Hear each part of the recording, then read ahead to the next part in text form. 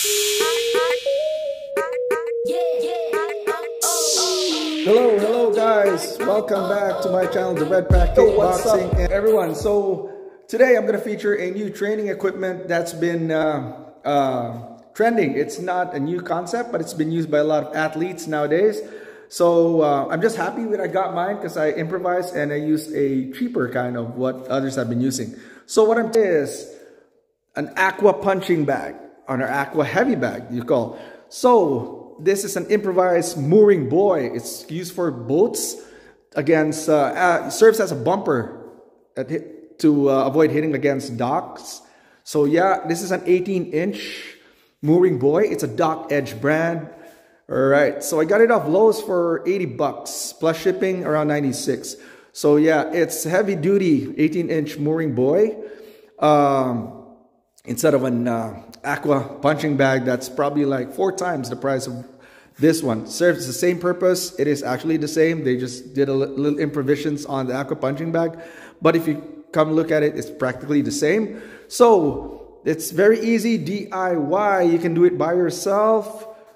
Here, right here, fill it out with water. Unscrew the valve with a flat tip screw. Valve will probably be uh, inch and a half or an inch, I think. So easy to fill it out. Just purchase a garden uh, nozzle, standard garden nozzle. It's a 38 by something. I'm not sure of the specs. I'll show it right here. All right. So don't punch it through with uh, anything hard. Just does the, the valve enough or the nozzle enough would be the nozzle will be long enough to punch it in through and fill it out with water. Just attach it to a garden hose, standard garden hose, fill it out, and then lock it back up with your flat tip. I've seen a YouTuber who drilled it all the way down through and when he screwed it back on, it was just like spewing out water and leaking. So don't do that. All right. So right here, the attachment I use is a heavy duty cable with locks right here. All right. Double just to be sure. And instead of using an anchor shackle or a bow shackle, which I can't find the right fit for this buoy right here, I just improvised and used a PVC plastic pipe so it's a standard cut as well. You can get it off Lowe's. I didn't have to cut mine. It was a standard cut. It was a perfect fit. So I just use a mallet hammer, punch it right through. It avoids less friction with the cable as well as the cable. That's why I chose a cable instead of like direct hanging it off a chain link or the carabiner right here. Carabiner won't fit. But like it lessens the friction between this rubber, hard rubber here for the buoy. I, uh, and um, just the plastic between the plastic PVC lessens the friction and make your bag last longer.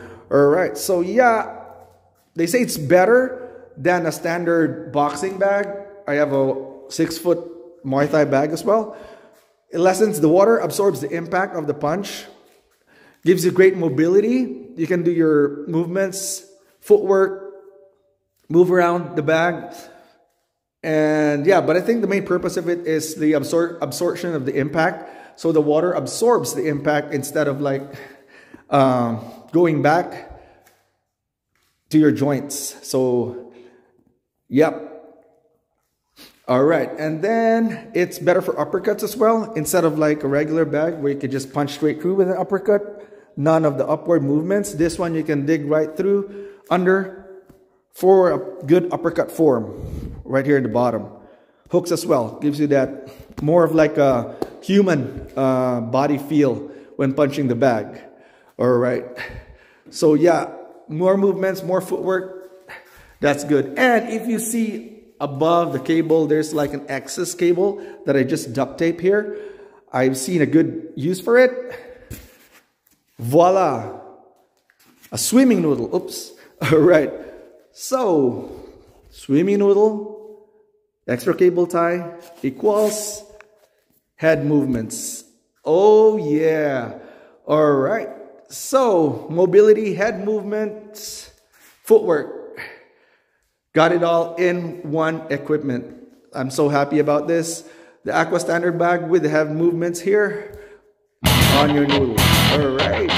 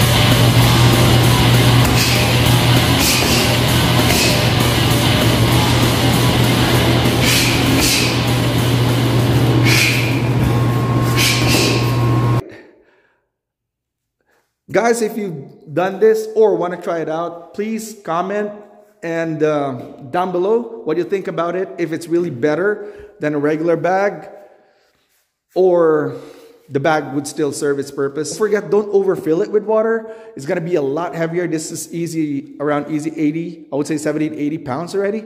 And it's softer as well, a little bit uh, lesser impact on your hands and joints. So don't overfill it. See, there's some creases here because I didn't overfill it. So just let the water do its job. All right. All right. So thank my video today. Uh, again, comment and subscribe if you haven't did uh, yet. Please, thank you. And uh, this would uh, help me in uh, putting out more videos, helpful videos like this for boxers, athletes, strikers like me. And uh, yeah, see you all soon. Thank you.